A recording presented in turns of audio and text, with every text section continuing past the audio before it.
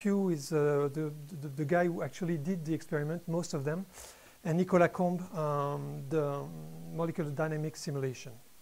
And uh, I'll also have some collaboration with some people around, essentially for the for the material that we're using. And I'm also like to I also like to, to say a special thank to Jian Han and, uh, Dave Srolovitz because I stole probably 20 or 25 of those slides. Okay, so this is a little um, thing that you have to work with.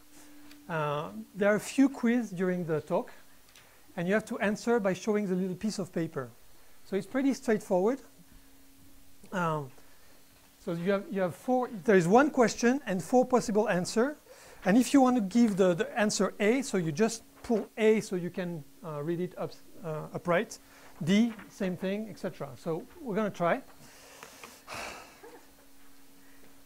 So, so give me, so show me your, so you have to show me the, the color uh, code. You ready? Okay, well, I don't see everyone. Who said, who said I've never been known? So the question is, who said I never been known for my work with boundaries? Ready? Go.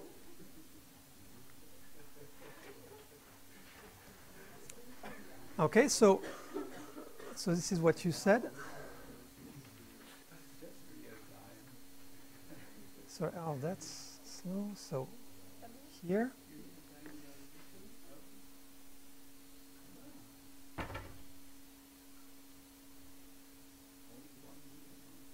Mhm. Yeah. Uh, it's stuck again. Okay, so you don't see the answer, but I see it. So you have uh, eight uh, answer A. So maybe I'm not going to, to show you the, the website. But I, I see the result here, and I see your faces. So.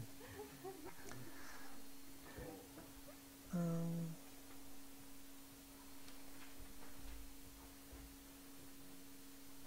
so I've got I've got eight answer for A, twelve answer for B, big star, one for C, and uh, and five for uh, Lady Gaga. And the answers were this one. It was tricky actually, because that, that was said by Carrie Fisher. Uh, Maureen said something completely. It's in French, obviously, and uh, and Lady Gaga also is, is had also worked on on grain boundaries. okay, so you got the idea. There are a few others, uh, maybe more scientific. Well, th- this is quite scientific. Um, the outline will be this way. So the, the introduction will be. Um, so I'm going to show you many moving grain boundaries during the talk. Um, some of them are driven by grain energy minimization or grain boundary uh, energy minimization. This is what people call recrystallization usually. But I will, I will show you and I will insist, and most of the talk will be about the, the fact that sometimes the grain boundary move because they're stressed, so under stressed, and they will relax the applied stress by moving. And this is will this will be uh, the part B, uh, and there will be five um, topics in, in this in this section. It's going to be mainly experimental. I will show you some TM and some in situ TM. So this is a real organic dislocation or disconnection that you will see, and some simulation with uh, fake um, defect. And at the end, I will try to convince you, as I'm convinced, that uh, maybe the way we looked at grain boundaries so far is probably not the, the, the right way of, of doing it. Okay, so this is um, real recrystallization. This is a high entropy alloy. You, you know this stuff already. You have plenty of dislocation here. We're heating it, uh, heating this thing to uh, 1000 degrees, and you see one, one grain boundary here, which is eating up all the defects. And in the back here, it seemed that there is no more defect at that time. Uh, the video uh, recorder stopped at, at that point, so I don't have the, the rest of the sequence, but we could check that after this uh, grain boundary motion, i show you again, okay. Yeah, what, what is interesting here is that we have that many dislocation density at, at high temperature. It's, it's also surprising. If we go high, uh, quick enough in, in temperature ramping, we, we get this amount of, of dislocation density. Okay, so same thing. This is so we can check afterwards uh, that the, the dislocation density is much lower. So obviously here there's some source that, that worked um, after the passage of the of the grain boundary, and if we have some glide plane here, we can also measure the fold thickness. So uh, before it was about 400 nanometer, and here it's 300 nanometer. So it's not super thin uh, but still it's the, the, the, kind of thickness that we have to work with in, in TEM. So in the order of half a micron, I would say. This is another example, maybe with a, a speed that is uh, lower. Uh, same thing, um, same alloy, uh, and you will see here, here you have some, some complexion of the grain boundary, it's a bit bizarre. You will see this grain boundary will move to the right. Um, what is what is funny here is that it's going to trail the subgrain boundary. I will see here. So the dislocation density is much lower here, but you can see that it's still high in, in this region, not as high as before. Maybe that's why the the the, the, the grain boundary is not moving that fast. But you can see it's trailing two, two sub-grain boundary here. And it should, again, it's not, it's not complete. If I, if I showing this thing twice, I'm not going to make it to the end. it's not supposed to stop. Okay, so this is a grain boundary here.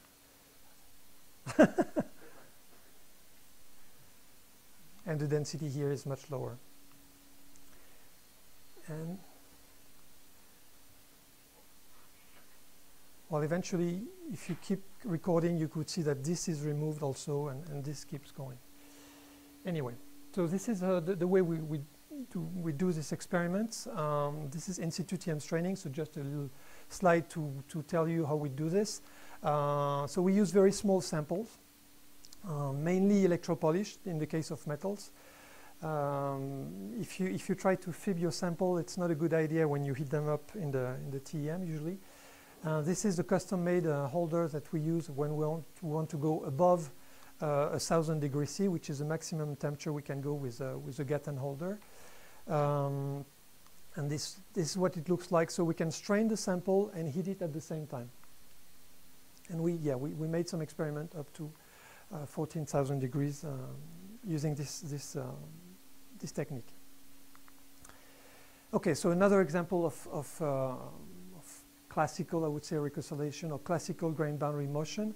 Uh, this is uh, copper-copper bonding when you want to do uh, 3D uh, microelectronics. So you put two microstructure of copper in front of each other. And of course, you're making here some non-organic uh, grain boundary structure. You have uh, stuff where you have almost 90 degrees uh, junction with uh, the, the, grain below.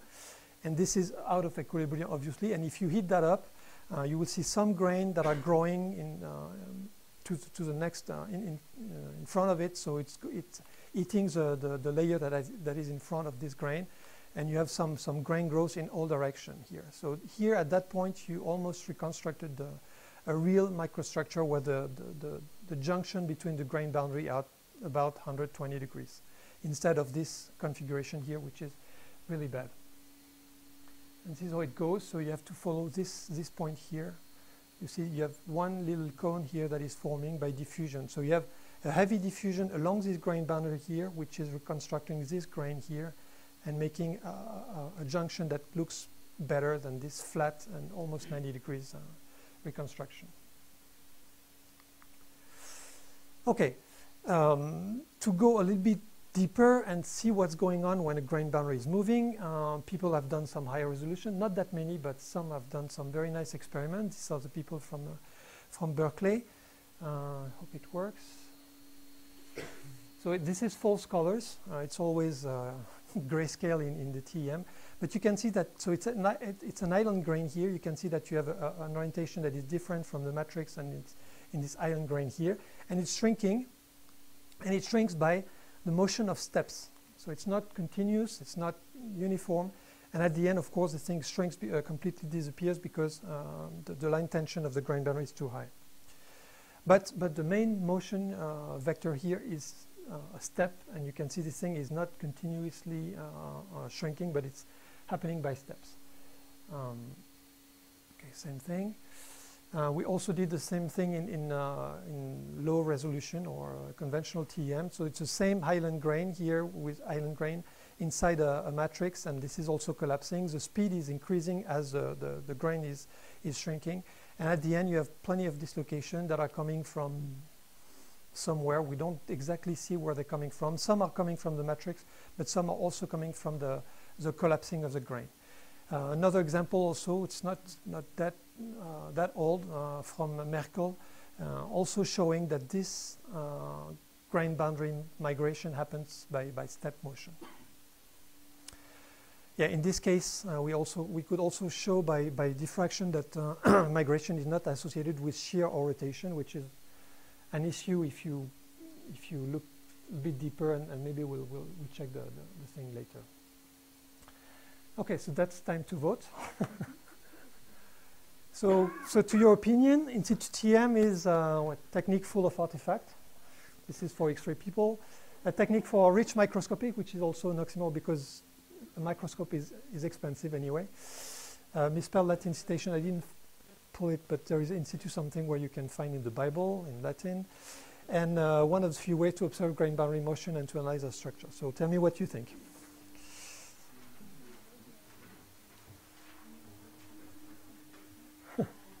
non, non, ça c'est pas bon ça. Je sais. okay. we, we have some punks here. We need them. Okay, so no one thinks it's a useful uh, few way, one of the few way to observe stuff. Uh, uh, you say it's a misspelled Latin citation. Okay, you, you want to you want to have fun. Okay, good. Okay, so that was that was introduction. Um, many uh, grain boundary migration under the fact that you want to minimize uh, the stress or the local energy in your in your in your system. But a few years ago, um, several people found out, and we also found out that when you when you stress a nanocrystalline metal, like like here, like on the left, for example, this is nickel on the left, um, aluminum on the right. If you stress that, you, you start having grain growth even at this is I think it's um, low temperature. This is room temperature here for aluminum. This is gold here uh, on on a, on a stretchable substrate, and you can see that you have extensive grain growth that is directly uh, driven by the stress that you're applying to your system. Um, yeah, this is also this is EBSD. This is uh, ASTAR, so it's, uh, it's the same. It's an equivalent way of doing uh, orientation uh, mapping inside the TEM. Instead of having this uh, uh, Kikuchi band, we we use um, pattern matching with a simple diffraction. So it's same thing. The the, the beam is rastering the the sample, and you get back the all the orientation of the grain. And you can see along the crack, for example, here that you have grains that are bigger than in the in the core of the of the material.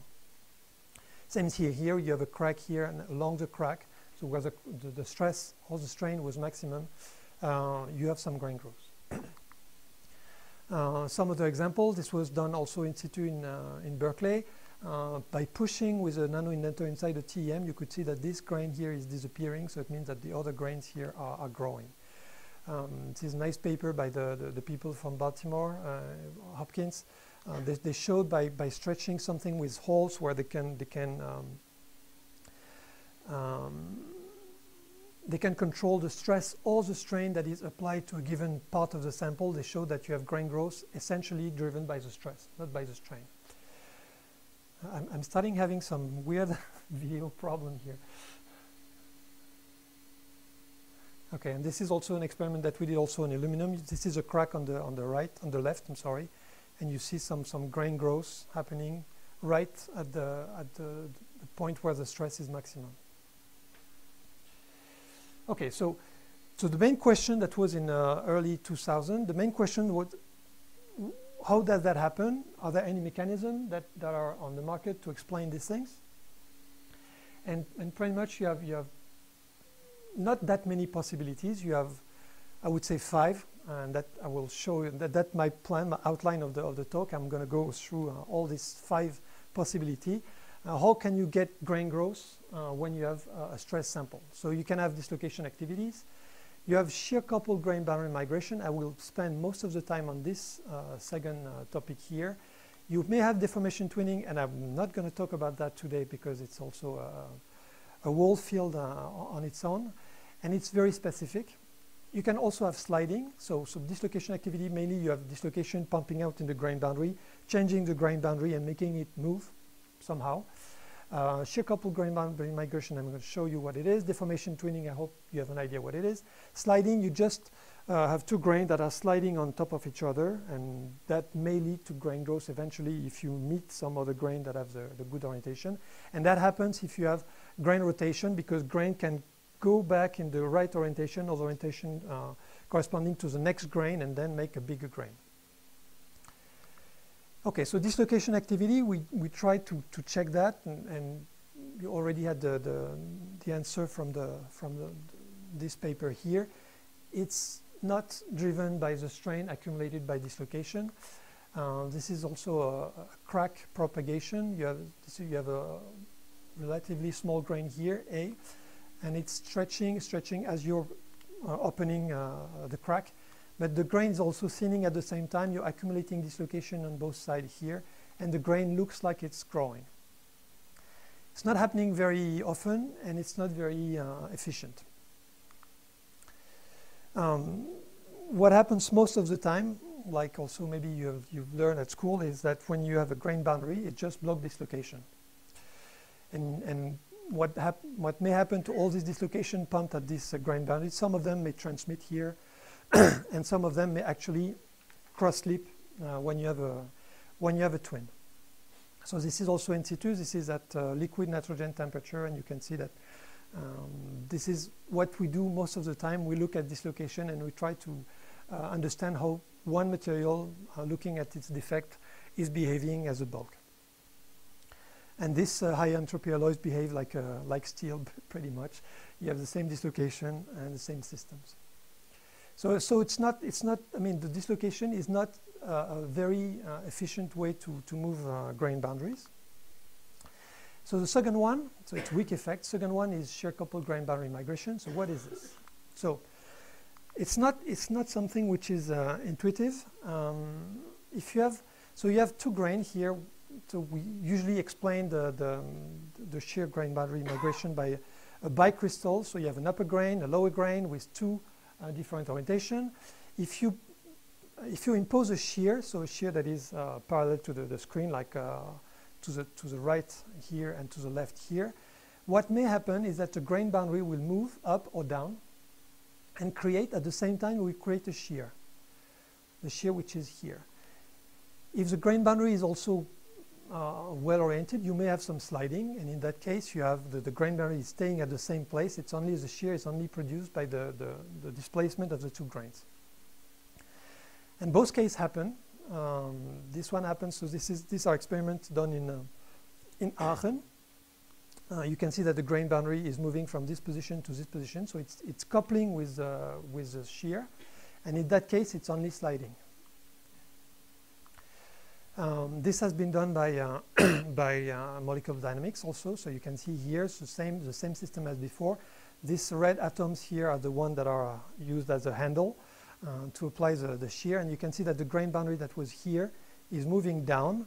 And at the same time, you have a shear produced that is very consequent. I mean, the, the, the shear produced by a small migration here is, is quite high.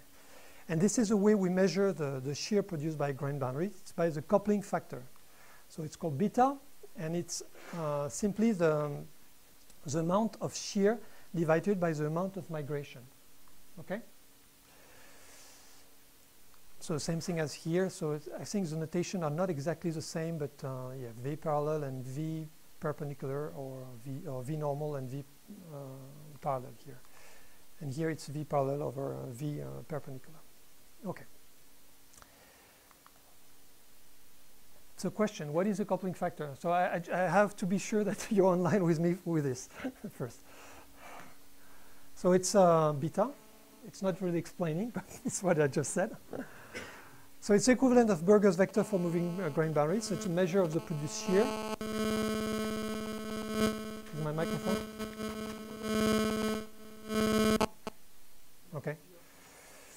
Uh, degree of matching between two individuals on Meetic and Tinder. Uh, and could you repeat the question? If I have many of these, I have to repeat again. So, okay, go. You ready?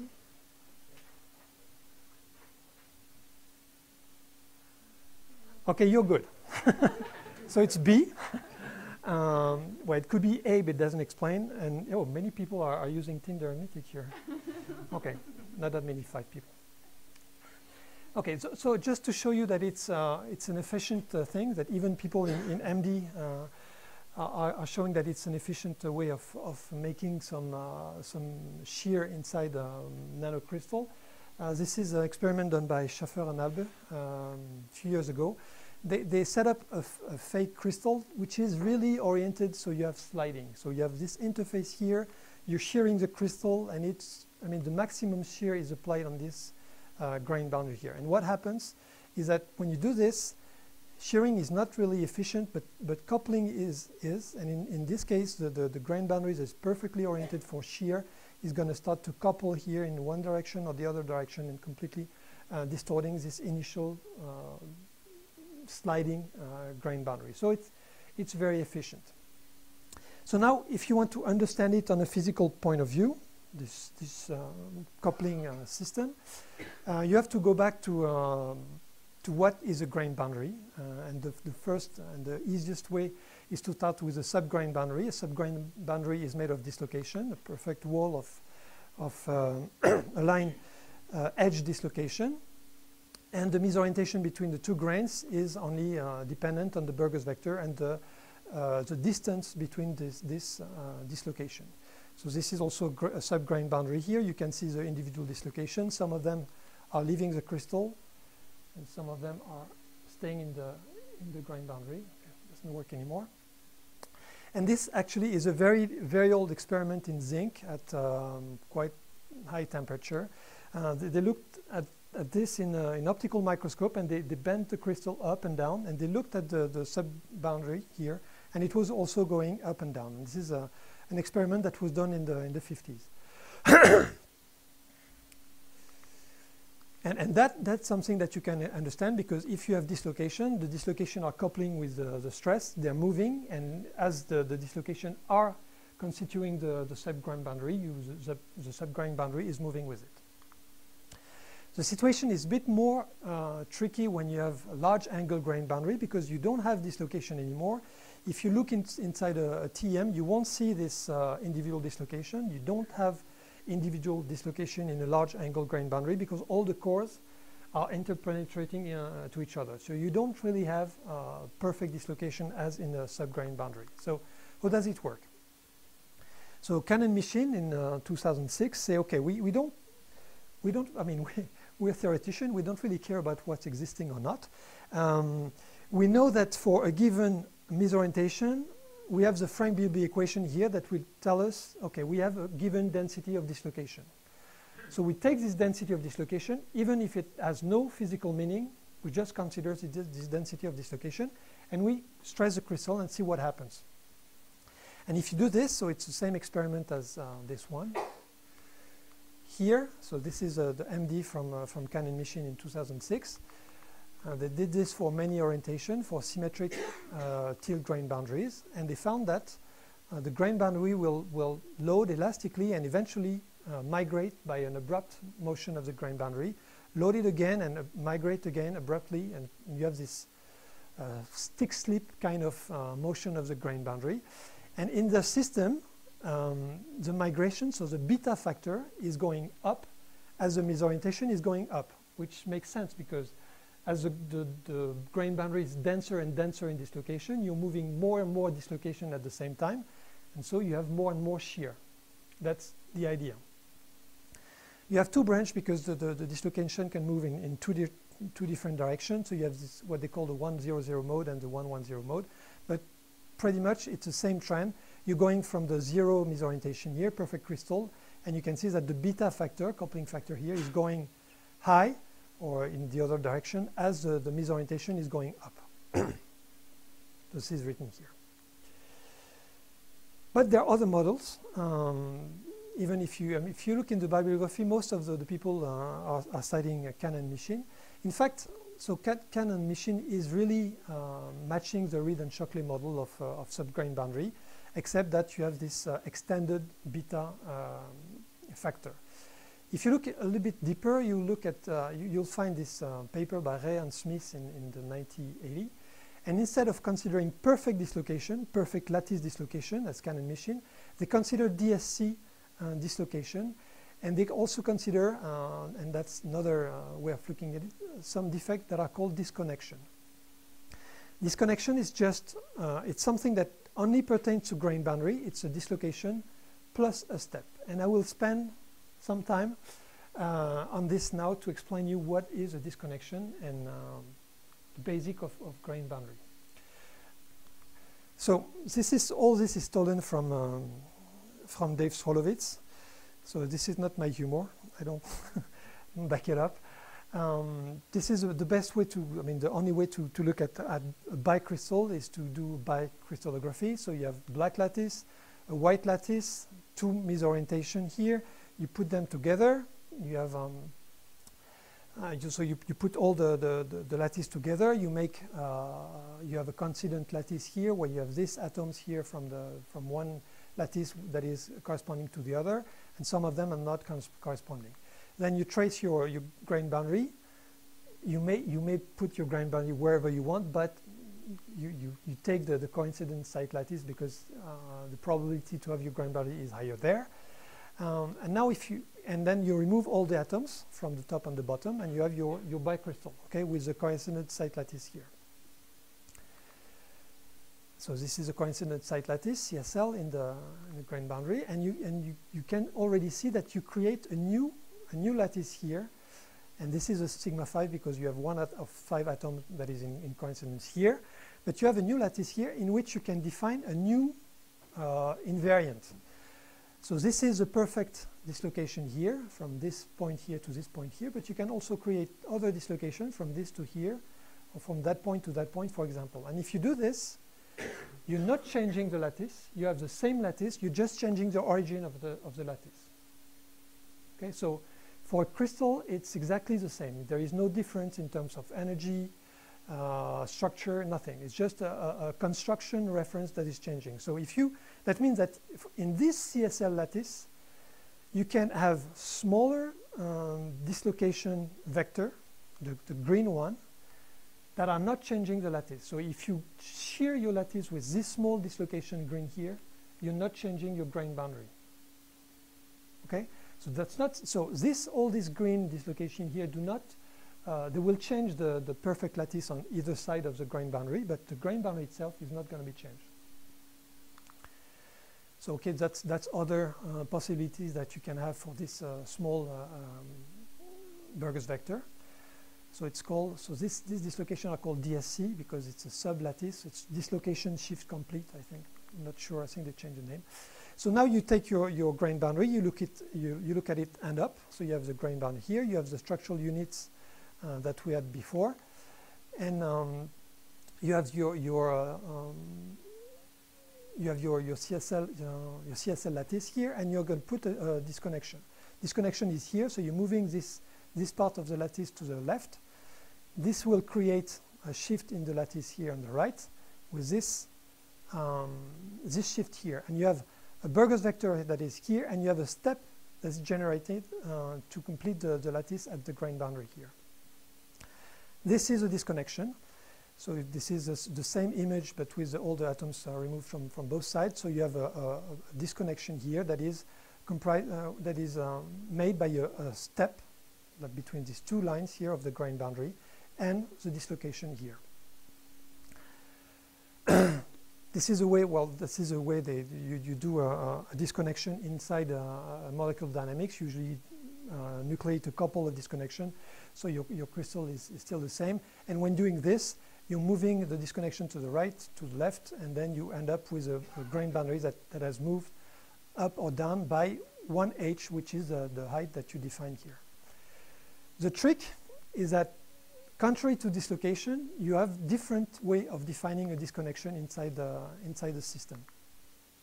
For a given step, for a given uh, Burgers vector, for a given Burgers vector, you can have uh, different step.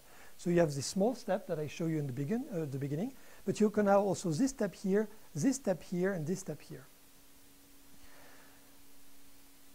That is important because, uh, so, so, this is an example of what you, you can get in a, in, in, this sigma 5 here. uh, you have a, a, Burgers vector that is uh, the height of the of the um, of the step here plus the the Burgers vector associated with to this disconnection.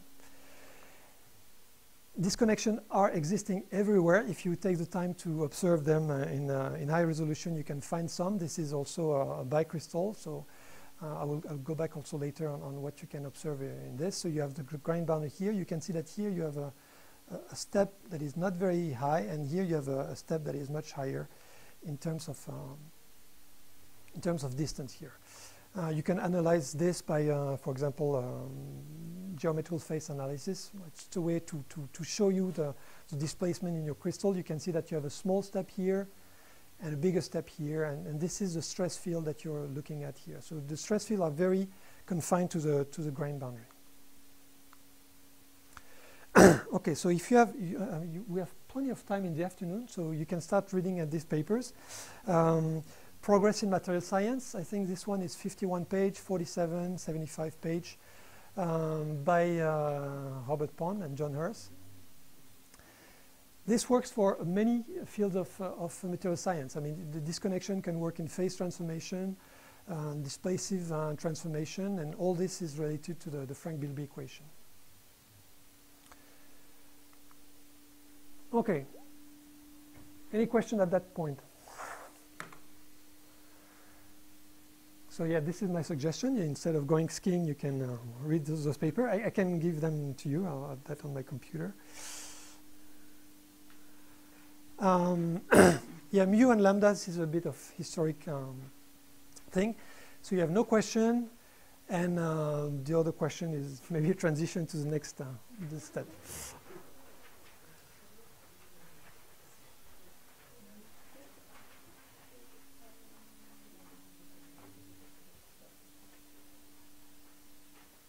Okay.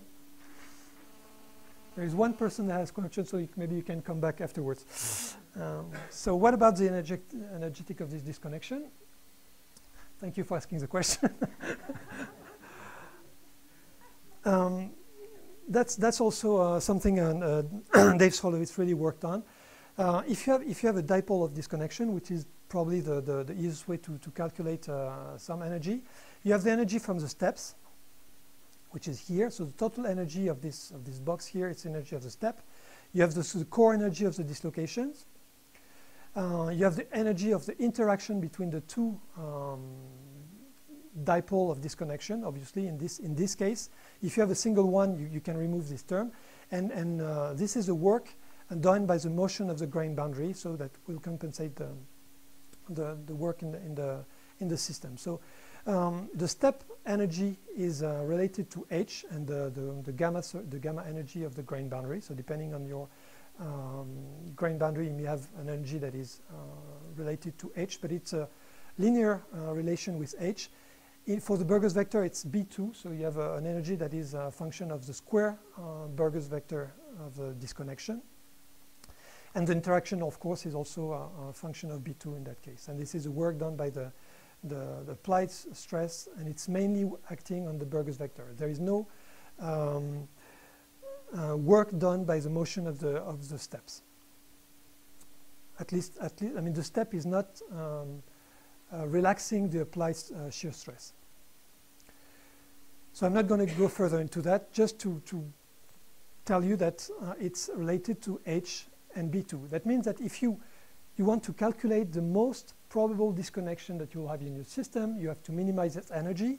So you have to minimize the height and the Burgers vector. So you need the smallest uh, Burgers vector. So that's, that's why it's good to use a DSC because the Burgers vector are small. And that's why also they, would, they should be favored uh, compared to large uh, perfect lattice dislocation like in, in Cahn and Mishin model. And you also have to, to take into account the steps. So you probably, uh, for, I told you that for a given DSC dislocation, you can have many different steps, so many different disconnection. Probably the, the disconnection with the smallest step will be favored compared to the one that has uh, 10 uh, interplanar spacing um, steps. So if you do this, you, you, you you, you, you, calculate all the geometry possible and you, you calculate all the, the possible Burgers, uh, the, the, coupling factor. So the coupling factor is just the height of the step dividing by the, the shear uh, the contrary, the, the shear of the dislocation dividing by the step. And you do this for many uh, grain boundary tilt angle, and you can see that you have many of these disconnection here that have a very close to zero or zero um, energy, or does, does give you a, a, beta factor that is close to zero. And you have these two branches here that are the two branches that are predicted by the Cahn and Mishin model, which are the, the one with a perfect dislocation. So if you remember, I'll, show you I'll show later. And if you increase the size of your box and the size of the disconnection, you will start having more and more uh, larger, larger and larger beta here. You're expanding the, the, the, beta factor because you're increasing the step or the, the, the shear of your disconnection.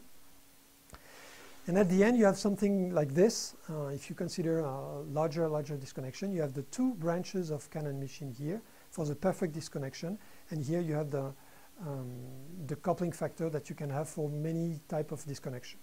So that, that is a, the trick. This is for a given grain boundary. You may have different shear amplitude. So it's not like the dislocation. I, am coming from dislocation. I know that one dislocation is a Burgers vector. You, you know the Burgers vector and you know the shear. For a given grain boundary, it's different because you may have many disconnection different, so you may have different beta. And you don't know it by advance because you don't know what is the content of, of, uh, of your grain boundary in terms of disconnection. So people have done many, many uh, molecular dynamics to, to try to compute the, the beta um, coefficient in all these cases. So it's all uh, um, uh, symmetric tilt grain boundary here, 100, 110, 111. And you can see that in all this, most of this um, um, molecular dynamic simulation, you still find a lot of these coupling factors that are uh, related to the, the perfect dislocation. So a very large coupling factor that are uh, computed. Some of them are here in the middle with a low coupling factor, but it's, it's really strange to have all these very high coupling factors, so very high energetic uh, disconnection. That's also something we did a few years before. We didn't know anything about disconnection at that time. We just cut some little piece of paper with two lattice here. We tried to rotate them, apply some shear, and we had we had some we came up with some equation which is equivalent. Uh, and we, we also show, so this is a Cahn and Mishin model here, the two branches here, green and blue, and all the possible uh, um, coupling factor that you can have, depending on the size of the, of the box that you're considering here. So the, the unit cell of your, of your, um, your crystal in the A and B, or in black and white. It's not black and white. Okay, so we did also some, um, some uh, NEB and some uh, molecular dynamics in the lab. So we, we, took, we took exactly the same system and Cahn and Mishin. And we showed um, that actually you have some disconnection uh, moving in this system. So the way, the way it works, so you have to nucleate first the first disconnection. So you, you start with a perfect grain boundary. As well, we did the same thing as every, everyone on the planet. So we start with a perfect grain boundary. Uh, we start to, to shear it and you have the first disconnection uh, appearing here. This, this, takes the most of the energy of the system and once you nucleate the first disconnection it propagates along the grain boundary and makes uh, the grain boundary move. So it's here, it's, it's upper position here, lower position at the end, the, the energy has decreased and you have a, a, a, transition which is due to the, the complete shear of the first disconnection. Okay, this is uh, the movie, it's a bit poor. Uh, but you can see that this, um, this kite uh, feature here are rotating one after the other to, to propagate the disconnection in the, in the system. We also checked the, the hypothesis of uh, having a, um, a, disconnection in the system to start with, because I think that's a way to, to, to go. In, in real crystal, you already have disconnection. And it makes a huge difference because, of course, the energy needed to, to translate this existing disconnection is much lower uh, compared to the, the, the, case where you don't have a disconnection. So energy is divided almost by two. The stress also, so you have, uh, I think you're about more than two here, two gigapascal to, to uh, shear the perfect grain boundary. And here you're almost at one uh, when you have already a disconnection in the system. And this is the way it works. Uh, you have two types of, of, of um, um, nucleation and propagation. You have this is a, a, sessile disconnection that cannot couple, so you create a disconnection from this. It's good to so depending if you have periodic boundary condition or no periodic boundary condition, you can recreate another uh, disconnection at the at the end, and we'll recreate here the same grain boundary that you had at the beginning, with the sessile disconnection, but you move your grain boundary by one, uh, one step. Okay, so in real life, um, as I told you before, people in Aachen have done a lot of this experiment on, uh, on bicrystals. So they grow this bicrystal with a specific misorientation. They apply a shear, usually around 300, 400 degrees C in aluminum, which is quite high. And they observe this migration here. And when you, when you compute, uh, you plot all this misorientation here for this symmetric uh, tilt grain boundary, it seems that the CAN model is fitting very well. So as, as you go away from the, the, the zero misorientation here, you increase the misorientation between the two, uh, the, the, two uh, grains, the coupling factor looks like it's following this, uh, this trend. So it, it's, it's a bit strange because this means that the disconnection that you have here are dislocation with big steps or large Burgers vector. And when you compare this branch here to what we found here, it's also very completely different. So we have we don't have exactly the solution so far, but um, we have some some case where it doesn't work that well. So need to how much? Oh. so if you want, I can stop here. uh, otherwise, yeah, I can I can show you also some more experiments. Uh, polycrystal is interesting. And okay, you got the idea for the uh, last one. Ready?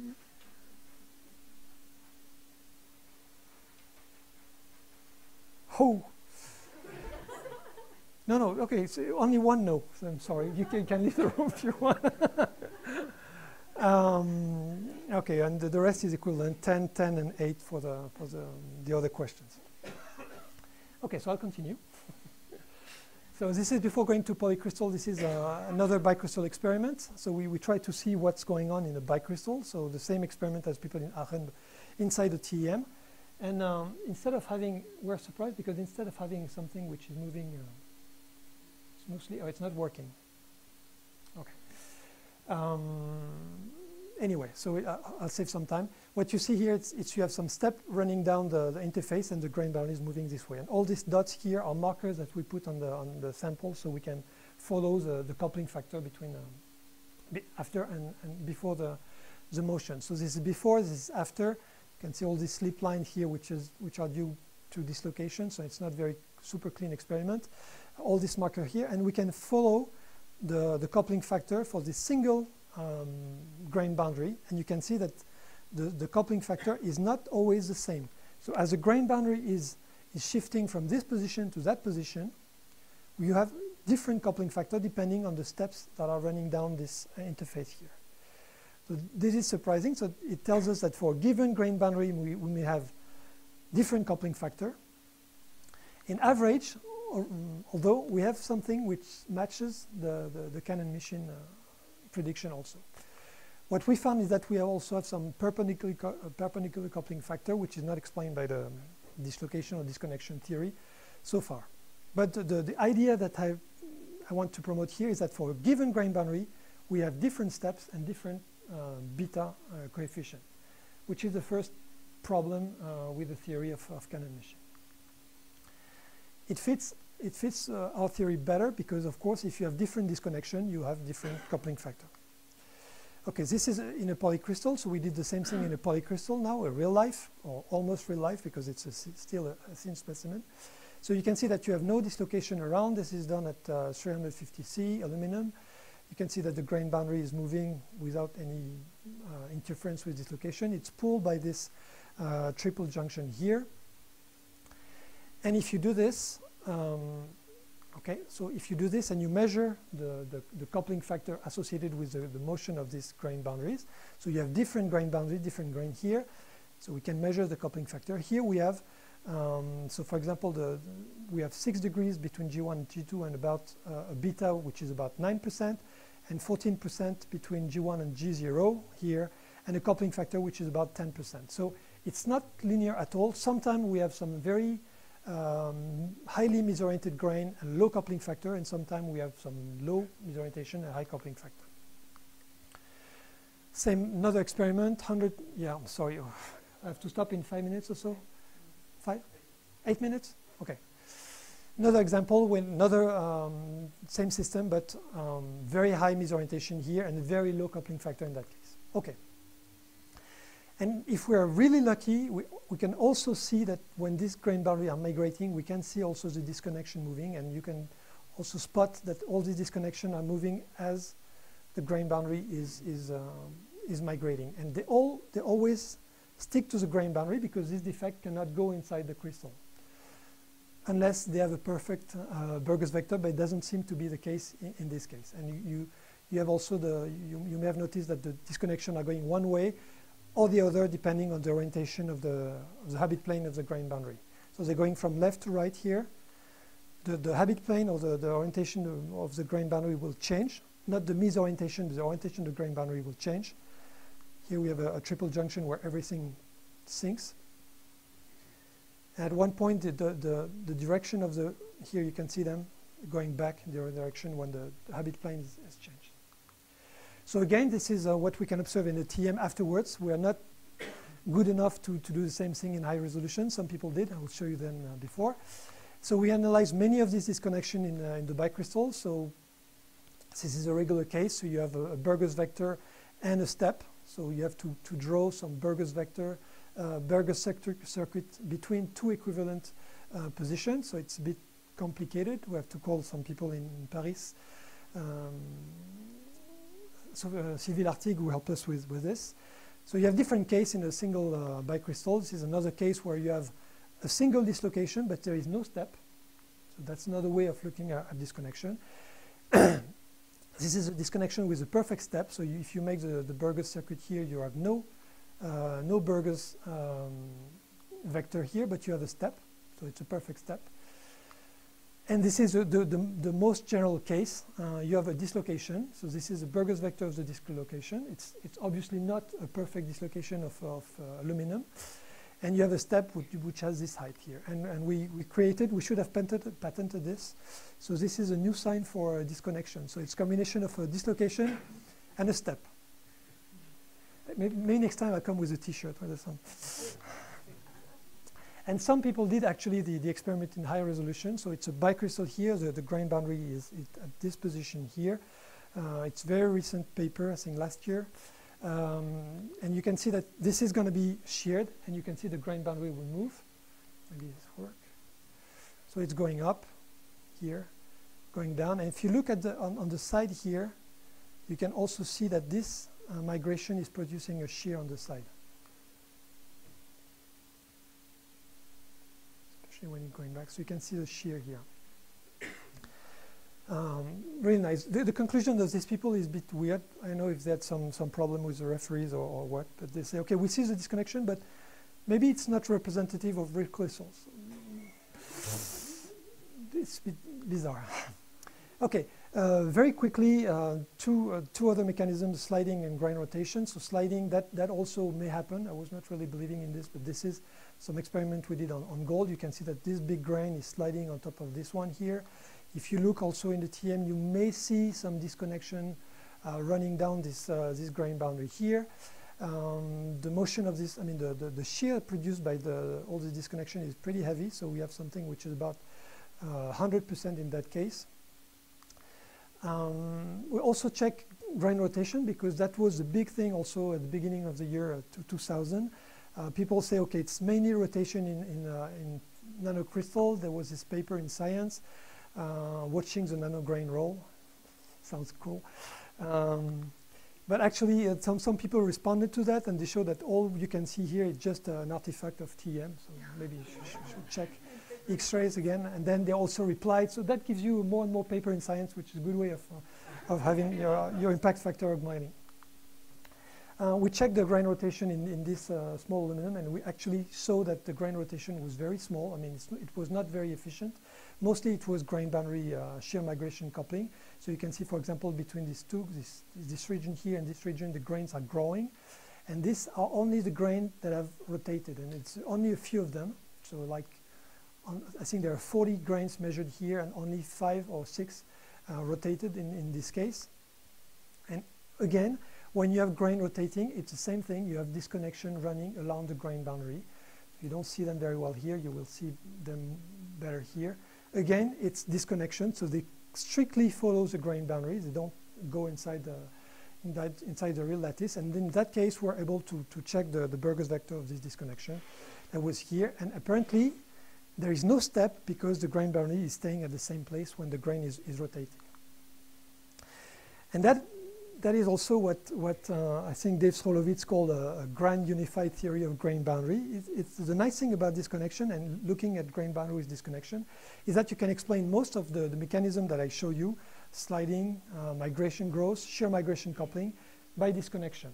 If you have a disconnection with a, a Burgers vector and a, a step height, when this disconnection will move, you'll have both a shear migration, so this will couple with the, applied stress because you have a Burgers vector, and the grain boundary will move because you have a step height. So the, when the, the, the, defect is moving, it will drag the grain boundary with it, and it also will also uh, lower the, the applied stress or the energy of the system. If you have no Burgers vector and only steps, that's what you have when you have migration and growth. So you only um, you, you, have no deformation, uh, no stress relaxation, but you still have a grain boundary that, that move. And if you have a grain, if you have only grain boundary dislocation with no step, that is the case when you have, for example, sliding. Only the, the, the, the shear is applied, you have a shear produced on the grain boundary uh, itself, but there is no migration. and of course, if you, if you enter into the diffusion, into the, the step um, energetics, the, the fluctuation of the grain boundary. You can also take all this in effect, take diffusion into, into account, which I didn't do at all today. Uh, interaction with dislocation also is a good way to unify all this, all this theory. Now, what is, it's almost, okay, uh, this is the conclusion, it's part of the conclusion. so origin of dislocation, do you have an idea of the origin of this connection?